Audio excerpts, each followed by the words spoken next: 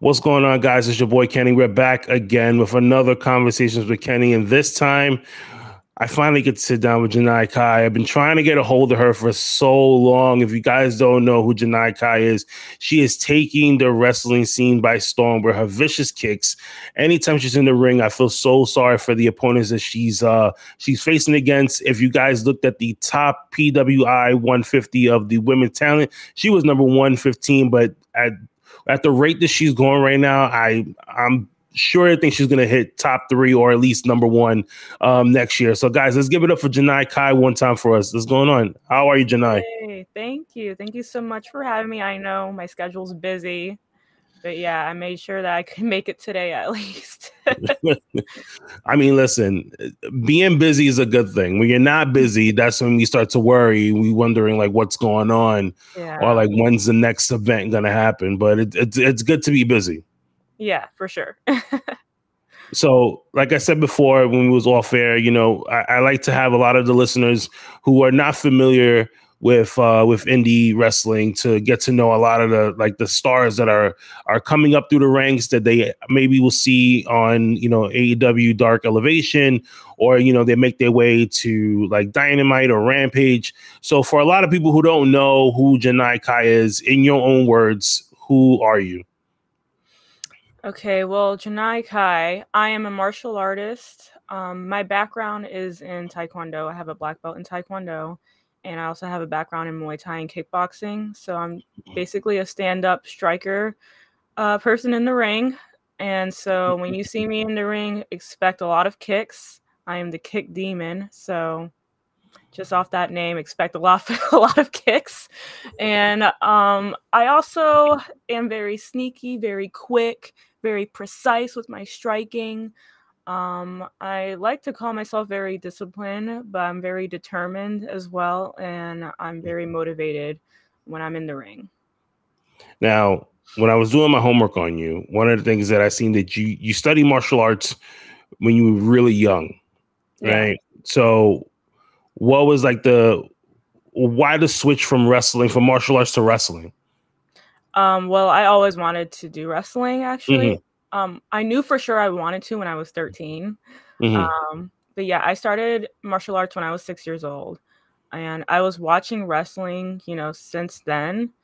And then I don't know what it was that triggered me to actually w- make the decision to be like, okay, I want to do wrestling. Um, but it's just something about the vibe that I saw in the ring, especially with the woman Mm-hmm. Um, I really pictured how I can implement like my martial arts background in the ring, and I thought hmm, maybe maybe this can be something that could work if anything. And when I was doing martial arts, one of my goals was to do stunt work, mm-hmm. like do uh, martial arts movies, and do like the fight scenes and all of that. And I thought, you know, wrestling could be something like that for me like mm-hmm. kind of be like stunt work, kind of like a fight scene in a, in a sense. And mm-hmm. so that's kind of how I was thinking to get into it. So again, when I was 13, I was like, okay, I want to do it. I told my mom. She actually took me to a wrestling school when I was 13. Oh wow. Just to like get a good taste of it already so that I can know for sure. Mm-hmm. And right off the bat I liked it. And I spoke to the um the owner of the school and he was just mm-hmm. talking to me because you know I was 13 years old, so it was kind of like kind of iffy if I could get in the ring or not. And my mom, right. she was definitely supportive. Um, but after that meeting there, um, I didn't start training. It was just, you know, just to get a good taste of everything. And I didn't start training until I graduated high school, like after that. Um, so that's kind of how I just got into it. It was always thinking in my mind, and yeah, it just never left. I I told myself that I need to do this, or else I'm going to regret like not even trying it at all.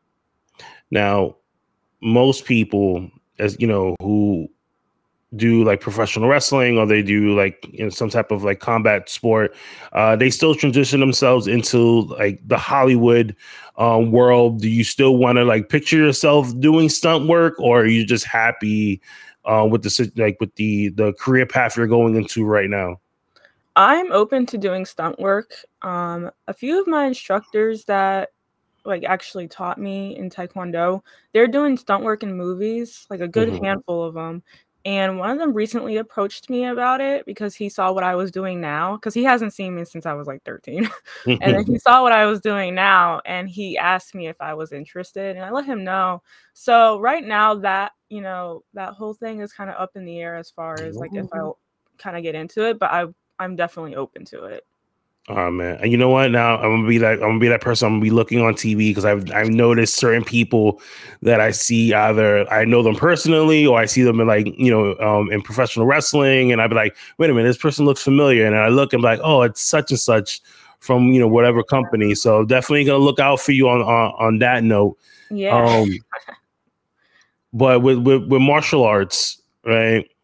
Um, tell me a little bit about like what what made you fall in love with martial arts um i think what it was was just like how intense like it was watching it i mm-hmm. love mm.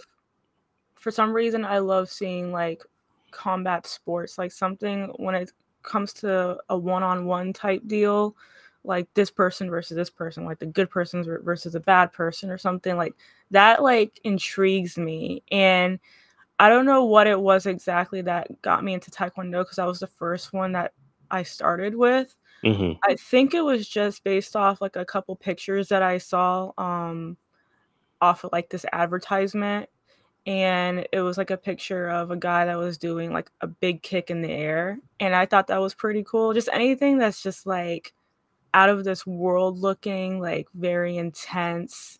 Like that captivates my attention and so i was very um, interested in seeing like what it was and how i can get into it no i mean I've seen so many people like now, like I have two small boys, right? And they wanted to get into martial arts, but they wanted to get into the martial arts like the wrong kind of thing. They saw Cobra Kai and it was just like, that's what I want to do. And. I'm just like, yeah, like like do you do you are you sure this is something you want to do i took them to a class they didn't like it and it was like no we just want to do this stuff that's on tv so well t- yeah to be honest like, i was six years old though so i kind of had that mentality too where mm-hmm. it's like oh that's so cool how do i want to do that like right. that's exactly how it was Oh my god.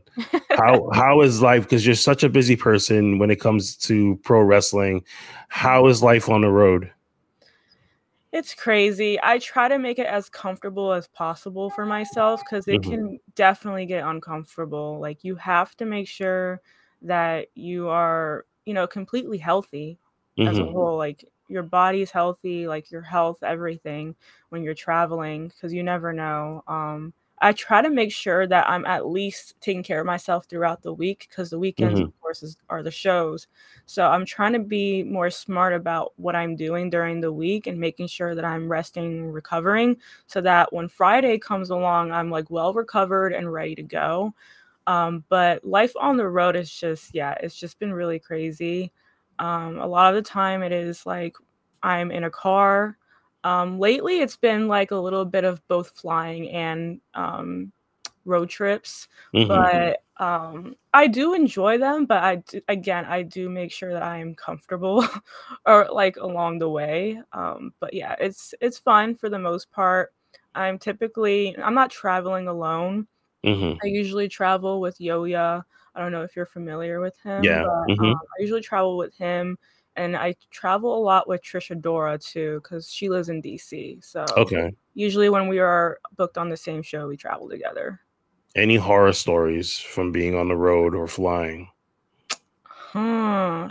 You know what? I haven't had anything too too bad to be honest. Like I thought recently something was going to happen in these airports, but no, mm-hmm. I've been having a lot of luck with it to be honest. Oh, I've heard I've heard people like saying like their their flight was canceled, mm-hmm. or, like they lost their luggage, like their gear.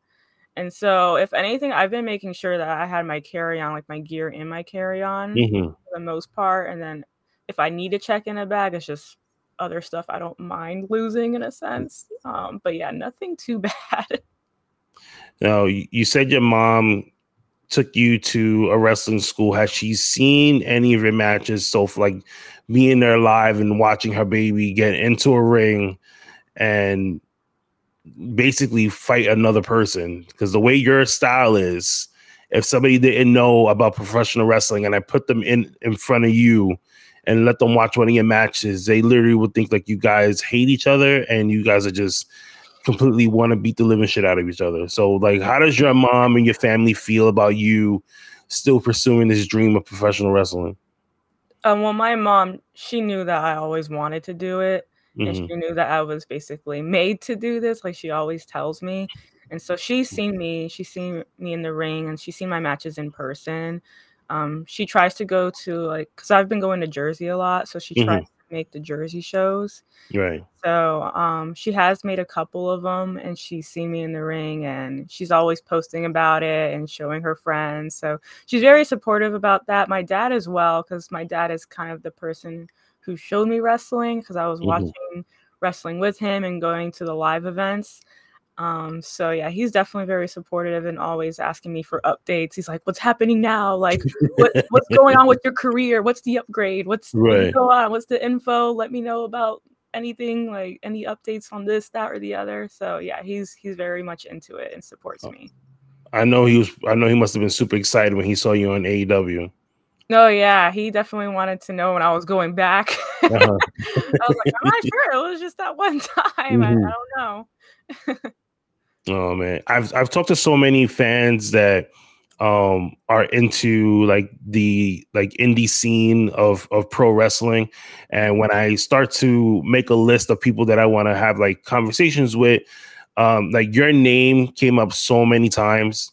And they and i will always ask like i knew my reasons why i was such a fan of yours because it's just your style and your look was so unique compared to like everyone else that I that I was seeing, you know, that I would see at, at shows, you know, and everybody would say the same thing. So like, how does that feel to like that you're seeing like more and more your work is being recognized throughout the uh, throughout pro wrestling, and like people want to um, see you more. Um, well, that honestly means a lot to me because that's basically my goal is to showcase my style. And because I'm well aware that it is different Mm-hmm. And you know, I've heard different things here and there throughout like my career already, and I've only been wrestling for five years, mm-hmm. but like I've heard different people say like, "Oh, like you need to do more wrestling, not so much martial arts." Like, and I get what they were saying, but at mm-hmm. the same time, I was I am wrestling. like, right. you're not just you're really not paying attention to it, and you're not looking at the art aspect of it um because i'm implementing like my martial arts and i'm implementing like the wrestling moves like the chaining like grappling as well so i know i do kick a lot and everything and you know people love it and i know they do um because they mm-hmm. let me mm-hmm. know and so and it's just this is something that i'm comfortable with so i always tell myself to wrestle the way that you know you're made to wrestle and that you're comfortable with and that you know you can do really well and this mm-hmm. is what i can do really well i'm not going to switch it up just because of one person not you know liking the style. There's always going to be a certain group of people in wrestling that are going to like that type of style or want to see more of that or they always been looking forward to seeing someone like you. So i always try to keep that in mind. Yeah i mean definitely don't ever change your style. I think that's one of the that's one of the main things that we love about about you is like your your style of work and anytime that you are in the the New York area and you're always doing a show, I always try to sponsor people that that I'm really you know big fans of. So people already know like when you're on the card, I always sponsor you. So you know like promoters will come to me like, hey, your girl's gonna be on there. You're gonna you're gonna sponsor her. I'm like, yeah, you already know. So definitely keep up the that. you know keep up the great work with that. Um, you know like women's wrestling has been um on on a really like an all time high. We've seen from like the main stage to like like the lower cards you know um like what do you think is missing? Like what do you want to see in like women's like in the women's division when it comes to professional wrestling in a whole?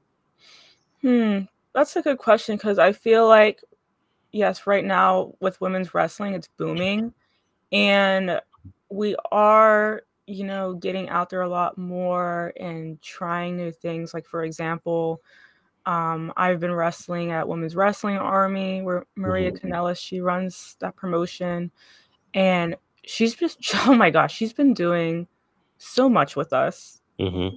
It's amazing the way that she's working with us individually and trying to help us upgrade ourselves in some way and to you know basically grow it's amazing and she tries to do that in ways where like we do like backstage interviews or like just anything behind the scenes trying to make people know like hey women's wrestling is it like it's interesting it's intriguing. There's so many different women out there with different styles and so i i just want to see more of that. I want to see more of like the emphasis on the different styles that women women's wrestling can bring um because there's just so much like a lot of people are just not seeing and so that's what i want to see more of so is there any is there anybody you haven't wrestled yet that you want to step into the ring with? Um Hmm. I've I've been saying this for a while. It's not a particular person, but it's a particular styled wrestler. Mm-hmm. I want to wrestle more lucha.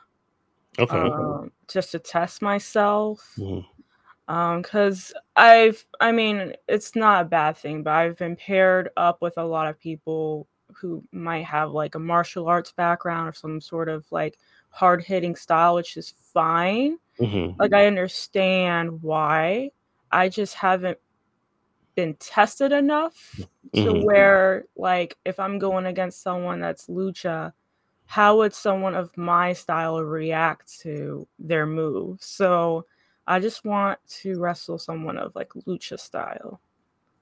Okay.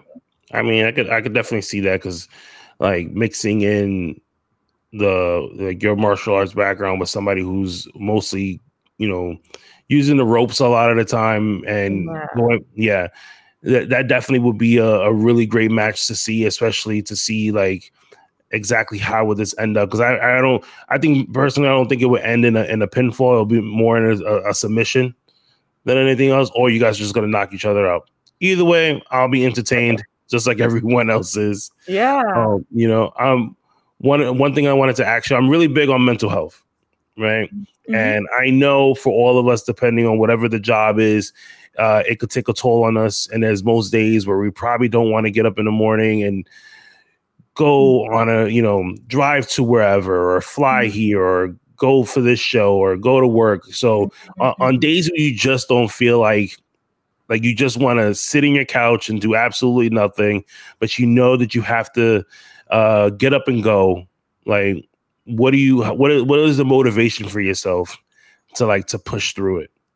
Um well throughout the week while i'm like resting and recovering I also study, like tape study mm-hmm. matches, mm-hmm. and I try to come up with like new things for myself, like even little things to do in the ring or to add to my gear or to add to my entrance. Um, I try to think of something like that to kind of motivate me to want to like, you know, go to mm-hmm. wherever so that I can like feel like I'm growing in some sense rather than thinking it's just repetitive and like, oh, here's another day of this. Like, mm-hmm. um, that's kind of how I just motivate myself. Okay. Oh man, that that's good. As mm-hmm. some I have we were we're wrapping up here now. I have some just really quick rapid fire questions to ask you. Mm-hmm. First thing that you think of, just spit it out. Okay. Right? Yeah. Favorite city to wrestle in? New Jersey. All right. You said well, not, not, city, but that's not a city, yeah, but yeah. you know what I mean. like, yeah, I like going to Atlantic City. Favorite, Atlantic you, City. you, know, we could just say favorite place to wrestle. we could say Jersey. Jersey, Atlantic City, though is fun. Yeah. uh, dream match besides lucha. Well, lucha, you have the lucha style, but who will be your your dream like match to do lucha with? Ooh, okay. Hmm. Dream match to do lucha with? See, I haven't even thought of who exactly, mm. like dream match wise. Like, mm-hmm. there's a few girls I can think of are lucha here, like a few girls in Texas, but Um, I don't know dream match wise, but I'll get back to you on that. Right. go go to snack. um, I do like kettle chips. Okay. like I I would eat those nonstop. I don't know. It's just like the crispiness of them. okay. Yeah. What's that one song that gets you hyped? Anything by the Suicide Boys. Okay. Yeah, because I walk out to them like they're one of like um the artists that I walk out to. All right. If you can give one piece of advice to a young up and coming talent, what would it be? To be yourself, because that's the the best way that you're gonna wrestle. Good advice. Well, Janai, thank you so much for taking the time out and uh, speaking with me. It's been great. Uh, for people who want to catch you or maybe want to know more about you, where can they uh, where can they catch you at? Um, Instagram or Twitter, uh, Patreon. Uh, but Instagram and Twitter is Janai underscore Kai, and then Patreon is patreon.com slash Janai Kai. All right, guys. Well, you You've heard it here. You know where to catch her. Uh, my guest was Janai Kai. Guys, remember we're in the holiday season, so uh, let's let's get into the wallets there a little bit. Let's go over to Ringside Collectibles. Use the code word the call up. That'll save you ten percent. They have a big giveaway uh, of, of deals going on right now. Um, we have the annual toy drive from the Fit Cave that's going on. That's going to help a lot of kids in the uh, inner city and also in the shelter system. You know, I'm really big on that. So let's let's come together. Let's put some smiles on these kids' faces for the holiday season. And guys, until next time, remember that you are the producer, you are the writer, you are the director, and you are the star of your own world. Continue to push, continue to dream, and don't let anyone stop you. Guys, until next time, I will be talking to you.